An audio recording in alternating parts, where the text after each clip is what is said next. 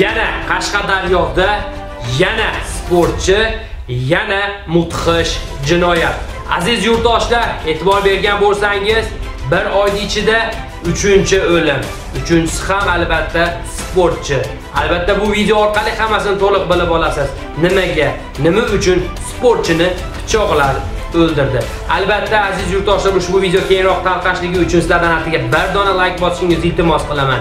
Kimda kim marhumning xotirasi uchun bir dona like bosib ikki og'iz ta'ziyasini kommentariyaga yozgan bo'lsa Allohim o'z mukofotlarini ayamasin alloh rozi bo'lsin deb videoni boshlaymiz. Assalomu alaykum aziz yurtdoshlar assalomu alaykum aziz vatandoshlar. Sizlar bilan men muhammadjon madiyev va siz ayni onda max madiyev kanaldasiz. Agar kanalda mehmon bo'lsangiz obuna bo'lishingizni iltimos qilaman. Aziz yurtdoshlar nimalar bo'lyapti? Oxirgi zamonni bilmadim o'zbekistonda jinoyat ko'payyaptimi bilmadim. Aynan sportchilarga qandaydir e, aytaylik dushman ko'paydimi bilmadim. Nimalar bo'lyapti iltimos qilaman kommentariyaga yozinglar. Nimaga sportchilar bir birini o'ldiryapti? Nimaga sportchilarni o'ldirishmoqda? Nima talashishyapti hayronman. E'tibor bergan bo'lsangiz olimpiadada yutgandan keyin o'sha katta sovg'alar berilgandan keyin sportchilarni orasida ham jiddiy ziddiyatlar kelib chiqyapti. Bir biriga kuykish va bir biriga o'lim. Nima bo'ldi? Hozirgi sportchi o'limini sizlarga taqdim etaman. Batafsil ma'lumotni o'zingiz ko'rib xulosa kommentariyga yozasiz. Marhamat. Tezkor. Dzyudo va kurash bo'yicha jahon chempioni kamoliddin rasulovni boshqa bir sportchi pichoqlab o'ldirdi.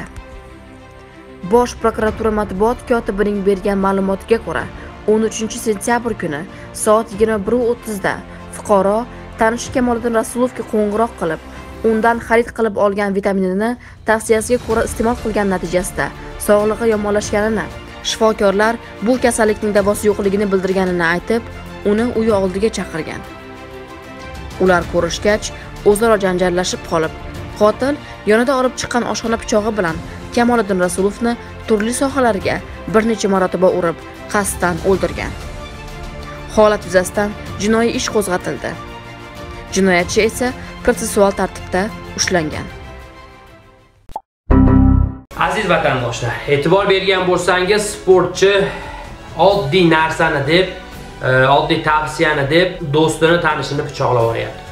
Ha uni tavsiyasi bilan unga dorilar to'g'ri kelmagan bo'lishligi mumkin. Uni tavsiyasi bilan u e, dorini ichgan va kasal bo'lishligi mumkin. Lekin hammani o'zini kallasi bor.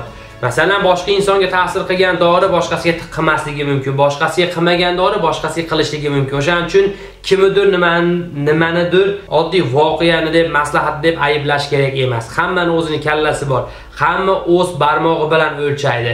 Albatta sportchini oilasiga Allohdan sabr sportchini o'ziga esa so'roq savollarda chiroyli e, o'tib olishligini yengil o'tib olishligini tilab qolaman. Aziz yurtdoshlar albatta fikrlarni kommentariyada ko'rib o'qib boramiz. O'z izohinglarni yozib qoldiringlar. Yana bir marta sizlar bilan men muhammadjon madih bo'ldi. Ko'rishguncha xayr xayr salomat bo'linglar.